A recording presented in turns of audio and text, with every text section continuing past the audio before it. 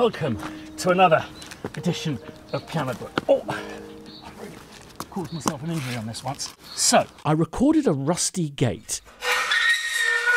Why did I do this? Well, for me, it was full of resonance and interesting artifacts, and after 11 years of making samples professionally, I've developed a bit of a sixth sense for these things. I thought this would make a good sample. Turns out those 11 years don't count for much because it sounds terrible. Because it sounds like a rusty gate. So, what did I do? But I've had an idea. I turned it into a competition, which now means I have over 400 rusty gate samples to judge in order to make you a shortlist. Competition now close. Close it on Saturday as promised. And thank you so much for your enthusiastic response. Not only do I have to listen to your Rusty Gate samples, I've also got to watch you making and listening to you make the Rusty Gates. It's going to be quite a challenge before next week to get down to a shortlist. If you recall, I'm going to shortlist the top five. The top three are going to win a free copy of Ambient Guitars, but the winner is going to win a free piece of hardware. And you girls and guys voted between these bits of kit. And you know, I personally would have gone for the Strymon Big Sky. It's a really easy kind of first choice for amazing bit of outboard kit that, you know, I think there are some alternatives plug-in wise, but there's just something about this bit of luscious kit. But you didn't. You did the right thing. A random piece of vintage kit. This community understands the value, the personality to want to go out on a limb. I doff my caps to you all. Right, back to pianos, namely my Schimmel, which I sampled in this video a few weeks back. Finally got round to looking at the multi-mic masterpiece I hope for it to be. So the first thing I had to do is because we're not working with one set of signals, we're working with three, the pair of M149s, the Apollo 2, which is a stereo ribbon, and the Soyuz, which I borrowed. I'm thinking about getting one, but it is, you know, quite expensive. So I grouped those together. So everything that I'm editing I'm editing simultaneously. And if you recall, what we do is we just cut to here nominally, and then we drag back, and then we input a 36,000 sample offset into EXS, and then go into EXS and tighten up each sample.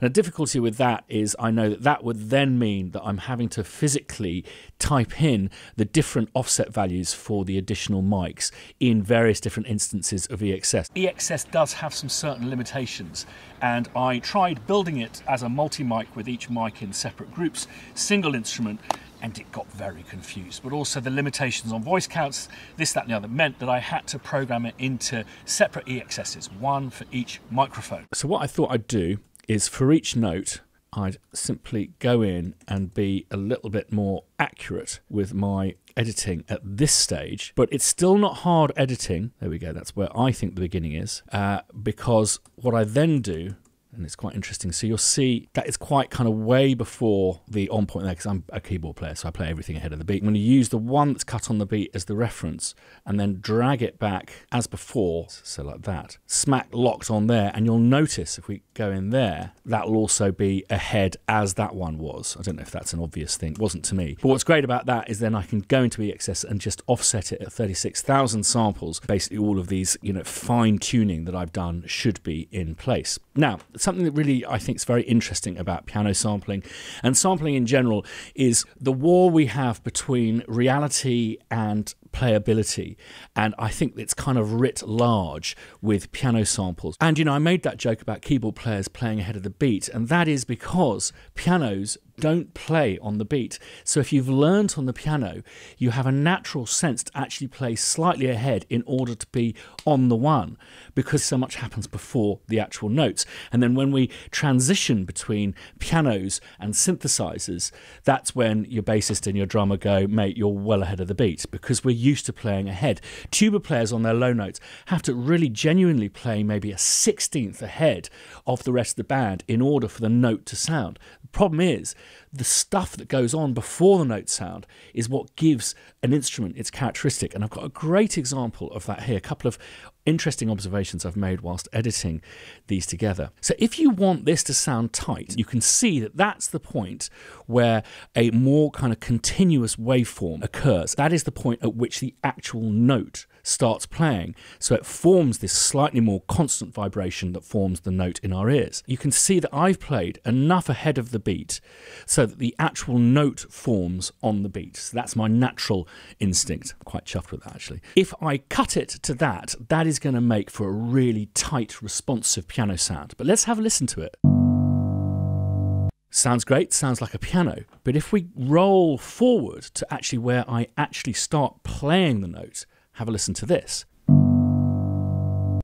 So tight, and then way before. And trust me, if we were to make a piano all cut from where the note is actually sounding, the net result, all of these tiny little 1% when you're sampling, add up to provide something that just doesn't sound as good. It feels great and bitey. It just sounds like a bad synth or a badly sampled piano. But because we play a variety of instruments on these controllers, we really notice when suddenly you've got to kind of play ahead of the beat again. So you have to adjust your thinking. Now, one of the ways you can counteract this lack of responsiveness is to actually cut hard into the note on your sample. And then you can create a kind of responsive performance version of your sample set. So whilst you're playing stuff in, and then you have your more truly offset version, which you can kind of patch back in for playback, and you simply put an offset in, and that should take care of it. But for me, when I'm writing, I need the full sample because I, I'm not inspired by something that feels like a synth or a badly sampled piano. The other thing I think was really interesting is I had to find, because all of the microphones uh, are at different positions, I had to nominate microphone as the master microphone, and I decided that that would be the M149. And what's really interesting about it is you can already see, just by a distance of, I don't know, maybe that much, you can see the slowness of the speed of sound there. If we bring the cursor here, you can see that the Apollo is triggering later, where the Soyuz is a little bit more kind of instantaneous. And that's where I had a bit of difficulty because the M149, when you're to the left of the keyboard, uh, was definitely that was the thing that was it was hitting that microphone first. And then if we go all the way to the right, you'll see that it's very much hitting that microphone, the right hand one, first.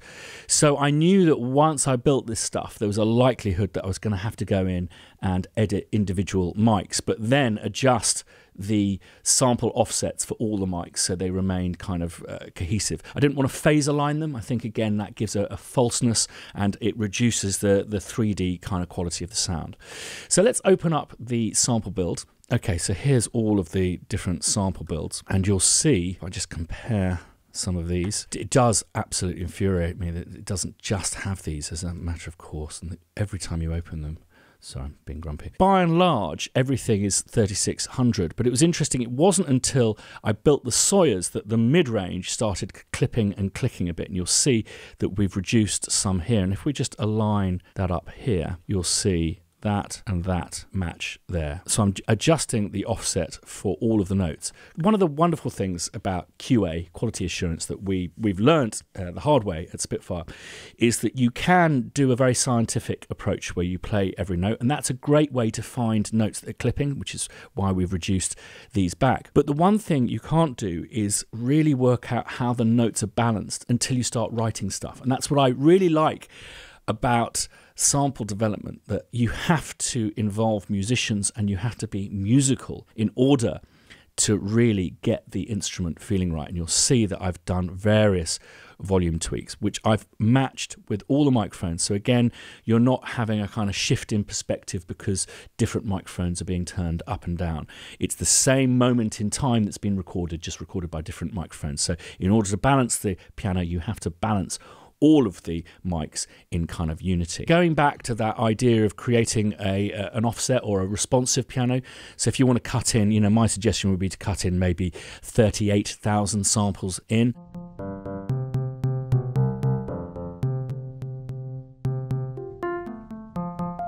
So that obviously doesn't sound great because it's all clicky. Now, instead of going in there and doing all sorts of crazy hard edits, what I just do is adjust just the ADSR. So again, you pull back a little bit of the responsiveness.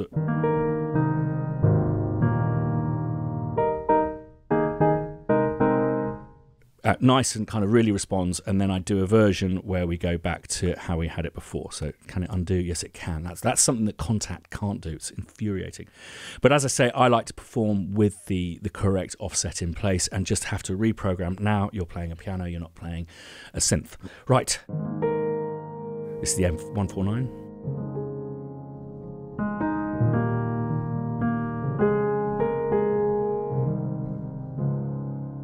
What I'm loving about this piano is that it has the effect of a felt piano, but it just has a, that little bit more cut through. And I've used the Winter piano, which is a kind of a, a slightly more beta version of this uh, sampling experience, uh, in an episode of Inside Number Nine really recently, and they absolutely loved it because it cut through, but it still had that kind of drama mellowness. Right, let's pull up the Soyuz. So this is going to be mono, and it's great. I think you know for for pop and stuff to have a mono piano is absolutely fantastic. You can really place it.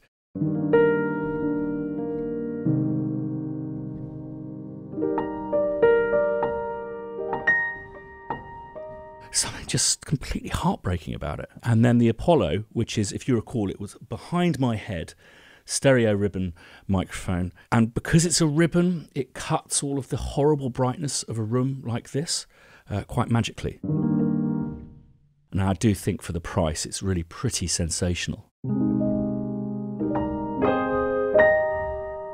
And it's interesting, it feels really up close when you're quiet.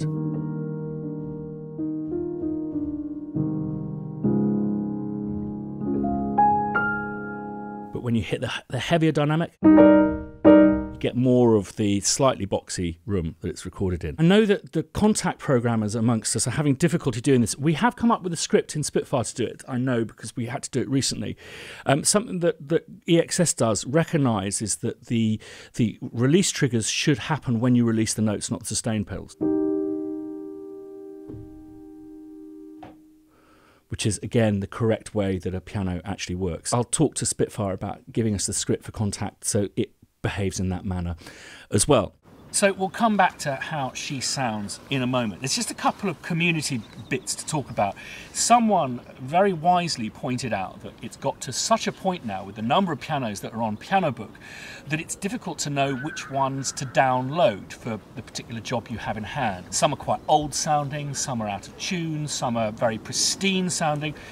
And you're absolutely right, without downloading all of them, and I am being hammered on S3 at the moment, uh, it's impossible to know which are the ones that you would prefer. So, what I'm going to do is I'm going to work through on film for these piano books little clips for each piano and I'll edit them into unlisted videos so that they can be mounted onto Squarespace.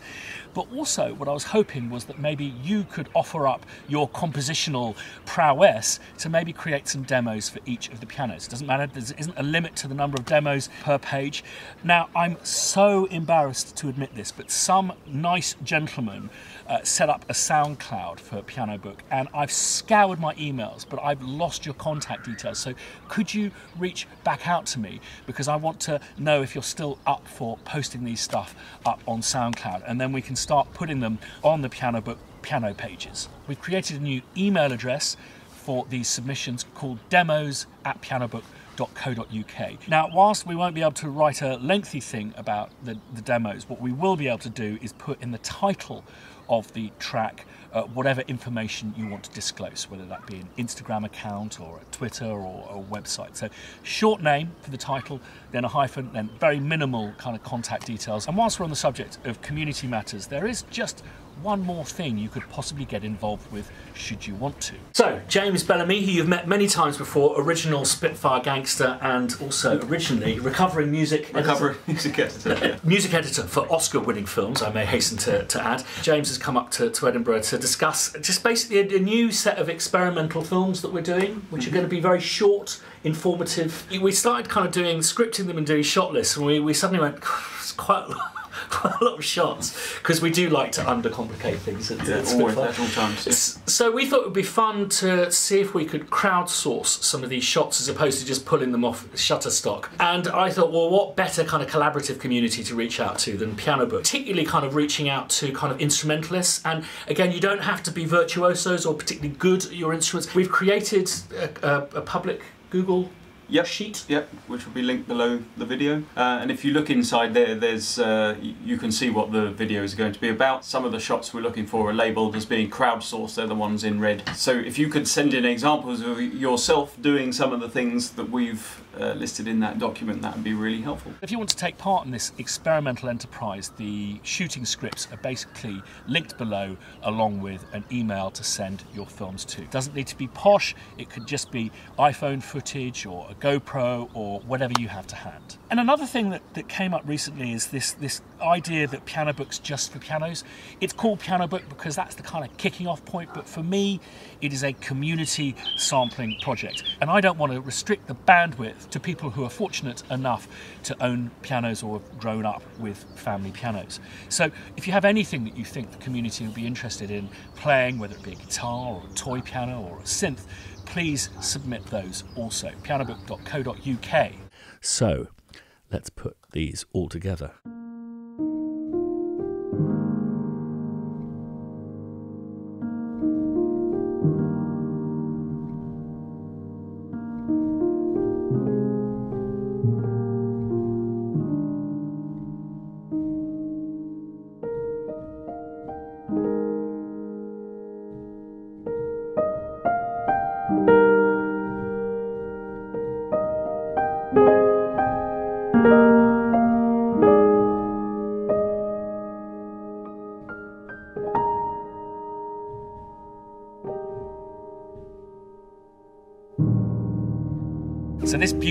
Available now to download at pianobook.co.uk, your place for free pianos, free samples, and a place to submit your work as a samplist. Thanks as always for watching. Thanks so much for your commitment to this project.